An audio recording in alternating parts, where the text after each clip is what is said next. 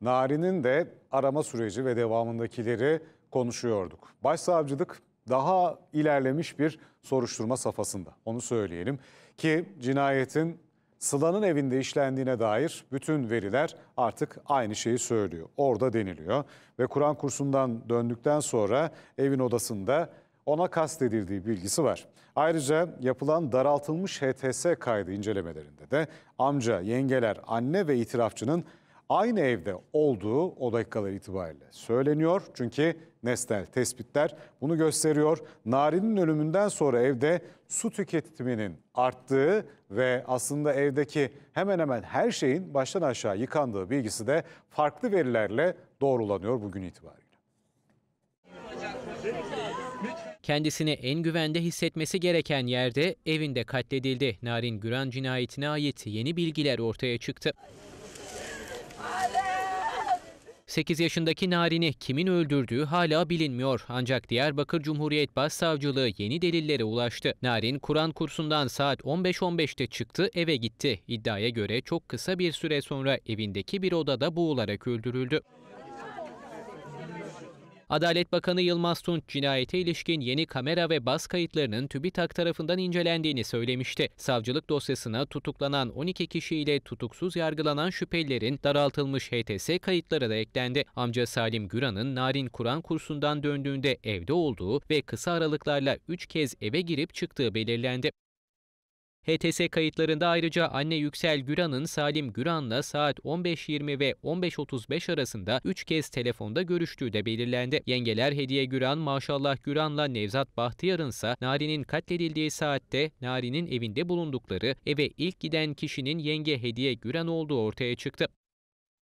Elde edilen yeni bilgiler arasında yengeler Maşallah Güran ve Hediye Güran'ın saat 15.15'ten sonra 4 saat boyunca Nari'nin evine gidip geldikleri ve bu sürelerde evde yüksek su tüketimi yapıldığı tespiti de yer aldı. Delillerin yok edilmesi için birçok yöntem kullanıldı. Evdeki eşya, kıyafet ve halılar defalarca yıkandı. Elde edilen yeni bilgiler ışığında tutuklu bulunan 12 kişinin yeniden sorgulanmasına karar verildi.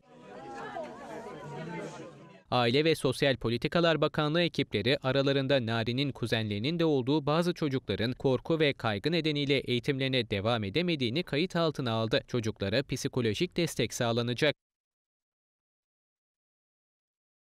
Efendim Van'da da kaldığı yurttan çıktıktan sonra kendisinden bir daha haber alınamayan Rojin'le ilişkili arama çalışmalarına da hızlıca bakalım.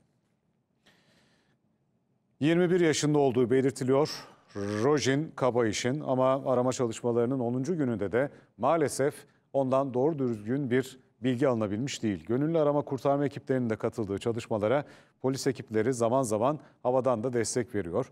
Arama çalışmalarında Çanakkale İl Emniyet Müdürlüğü'nden gönderilen yandan taramalı sonar cihazı, jandarmanın su üstü radarı, polisin su altı görüntüleme cihazları da kullanılıyor gölün içinde. Jandarma sahil güvenlik, polis ve AFAD ekiplerinden oluşan dalgıçlar da zaman zaman ilgili yerlerde bir veri tespiti üzerine dalış gerçekleştiriyorlar. Roji'nin kaçırılma ihtimaline karşı da ekipler olayın yaşandığı ilk günden itibaren Bardakçı Mahallesi'ne giriş ve çıkış yapan yüzden fazla araçta inceleme yapmış durumda. 2 yaşında Sıla hiç kimsenin zaten yaşamaması gerekenlerini küçücük bedeniyle burada anlatamayacağımız şekilde vahşice boyutlarını konuşamayacağımız şekilde zaten hayattan koparılmaya çalışılmıştı. Direndi küçük ve yorgun bedeni ama ondan kötü haber de maalesef geldi. Tekirdağ'ın Tekirdağ'ın Malkara ilçesinde yaşananların ardından hastaneden artık Sıla'nın hayatta olmadığı bilgisi geldi. Devamında neler konuşuluyor o noktada? Gidelim Aşkın Şeker'e soralım. Salih Nayman günlerce bu noktada Sıla'dan gelecek, istismara uğrayan bebekten gelecek iyi bir haberi bekledik. Ancak beklediğimiz iyi haber gelmedi. Bugün öğle saatlerinde hastaneden bir açıklama yapıldı.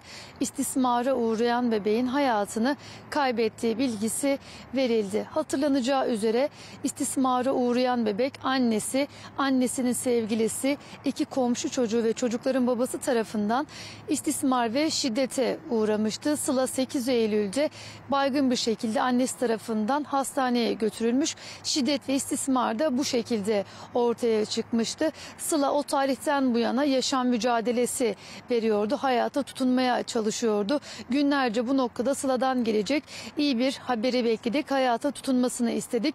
Ancak umduğumuz gibi olmadı. Sıla bugün öğle saatlerinde hayata gözlerini yumdu. Birkaç gün önce de aslında Sıla'nın teyzeleri hastaneye gelerek açıklama yapmıştı. Ne yazık ki Sıla'nın durumunun kötüye gittiğini söylemişlerdi. Her türlü habere hazırlıklı olunması gerektiğini söylemişlerdi. Bugün de Sıla ne yazık ki hayatını kaybetti. Şu anda hastanede Sıla'nın dedesi bulunuyor. Teyzeleri Aydın'da aldığımız son bilgiye göre teyzeler şu anda yolda. Gece burada olacaklar ve Sıla yarın Tekirdağ'dan e, ailesi onu son yolculuğuna uğurlayacak diyelim ve Tekirdağ'dan sözü yeniden sana bırakalım Salih Nayman.